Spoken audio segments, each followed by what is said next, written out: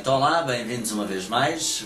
Hoje uh, trago-vos uh, três assuntos, dois, enfim, dentro da, da mesma área e, e, dois diferentes. Começo por lhe dizer que hum, esta segunda-feira, amanhã, portanto, um, vou estar uh, à volta do Rocio, o programa, como sabem, tenho na rádio Despertar Voz de Estremoz, mas um, dizia eu, vou estar com o Dr. José Alberto Fateixa, ele que deixou de ser o Presidente da Câmara Municipal de Estremoz, foi, digamos, o candidato vencido no último processo eleitoral do dia 11 de outubro.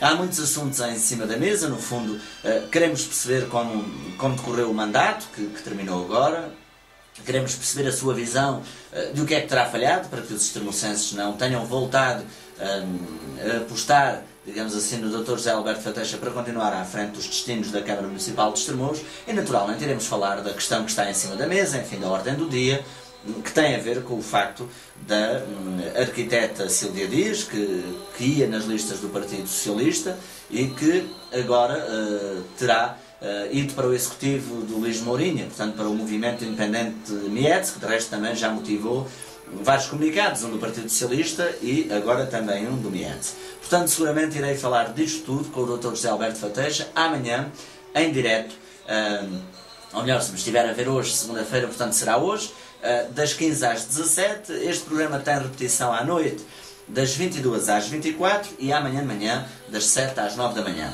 Quero-vos deixar também esta informação de que vamos ter uma inovação neste programa, uma vez que vai ser filmado, portanto vou, vai ser como estou aqui a fazer, e depois trar-vos-ei um, em blocos de 10 minutos, como sabem é o máximo que, que o YouTube permite, em blocos de 10 minutos, uh, a entrevista com o Dr. José Alberto Fateixa. Portanto, este era o primeiro assunto. O segundo assunto tem a ver ainda também com a Câmara que cessou, e com o Dr. João Carlos Chorizo. Eu estive à conversa com o João Carlos uh, esta semana.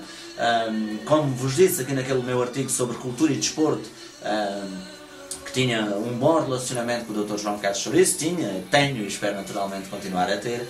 Um, Disse-me o Dr. João Carlos Chouriço, enfim, que tinha visto uh, aquilo que eu tinha dito e que não estaria assim tão de acordo, porque uh, entendia que a cultura era, era um campo mais vasto e que naturalmente não era, pela minha opinião, em relação à música, àquela visão, uh, ou melhor, não se deveria julgar o todo pela parte. Um, claro que eu expliquei ao Dr. João Carlos Chouriço, ao João Carlos, que, um, que se passou essa ideia do que eu quis dizer estava errada, porque aquilo que eu quis dizer, e assumo e volto a, a dizê-lo, é em relação ao campo da música. Obviamente, eu disse várias vezes, puxando a brasa à minha sardinha. Portanto, que fique aqui esclarecido, por um lado, a minha relação com o João Carlos Chouriço, que é boa e sempre foi, e por outro lado que me referia naturalmente ao, ao, meu campo, portanto ao campo da música e que naturalmente não, não estava a fazer uma leitura de todo o pelouro da cultura e de tudo o que o pelouro tinha feito, portanto eh, que fique aqui isso estabelecido, um dia mais tarde, quem sabe poderei então olhar de outra forma para, para o pelouro da cultura, mas para já fico-me por aqui, portanto aquilo que quis dizer aqui assumo em relação à música, enfim, à minha área, ao fado né, e tudo mais, julgo que poderia e deveria ter sido feito muito mais. Portanto, eh, daí eu ter dito que considerava um, menos positivo, digamos assim, uh, o ploro da cultura, obviamente, nesta área. Bom, agora avanço para, para uma outra, para duas informações, enfim, dentro da mesma. E esta mesma é naturalmente a RTP. Eh, primeiro porque uh, fiquei muito, muito contente, por um lado, enfim, e, e é assim que percebemos que, que o tempo passa e que, que os anos vão passando, que na passada sexta-feira, perfeitamente ao acaso, eh, liguei a televisão e na RTP Memória lá estava eu. É verdade. Também já sou uma memória. No primeiro programa em que participei na televisão, há quase 16 anos, eu fui um dos finalistas de um programa que a RTP teve na altura, que era a Seleção de Esperanças, e, e vou-vos então, depois podem clicar aqui em baixo para ver exatamente esse vídeo, o vídeo da, da minha primeira participação uh, em televisão. Uh, o programa foi gravado na RTP Porto, uh, era na altura lá que se fazia o programa, no Monte da Virgem, onde se faz hoje, por exemplo, a Praça da Alegria. Portanto, é essa passagem que, que gostaria também de vos, de vos, mostrar, no fundo, partilhar convosco e também vermos, no fundo, um, o caminho que nós vamos fazendo e como as coisas vão evoluindo.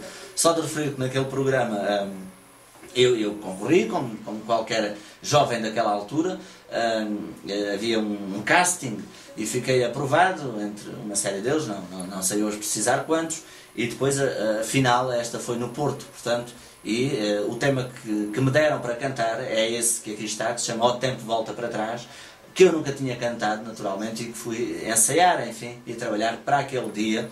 Um, e era o Zé da Ponte, que, que, era o produtor eh, do programa e, enfim, o diretor musical, e foi ele que me deu aquele tema para cantar. Bom, a outra uh, informação, no fundo, outro partilhar de momento convosco, tem a ver também com a RTP. Na passada sexta-feira, a RTP realizou o seu jantar anual com, com os funcionários, enfim, com o pessoal da, da RTP, em que se homenageiam carreiras, um, em que se se lembram aqueles que há muitos anos fazem a RTP, 25, 35 e 40 anos, e uh, foi com enorme honra, enfim, com uma felicidade muito grande, digo-vos aqui, que que senti, enfim, o convite que a RTP me fez para, para estar nesse, nessa noite, foi no Pavilhão Atlântico, portanto, na passada sexta-feira, no Pavilhão Atlântico, em Lisboa, um, nessa festa, enfim, de homenagem, de entrega de prémios, numa festa que tem a ver com uh, o olhar para as carreiras feitas dentro da própria RTP.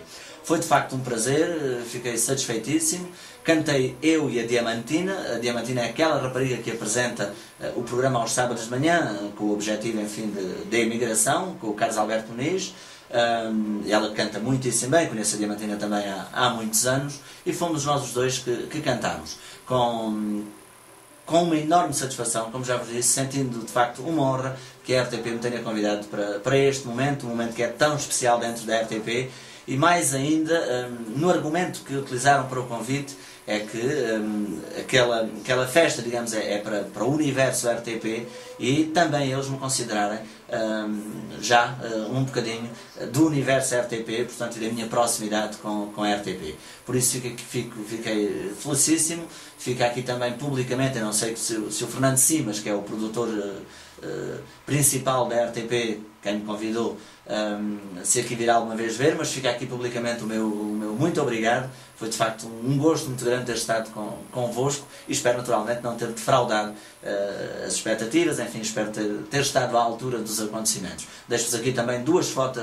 duas fotos desse dia, uma a cantar, as duas fotos foram tiradas pela Diamantina, um, uma a cantar e a outra com o Rui de Carvalho, que não, não precisa de qualquer mais palavras. Muito obrigado.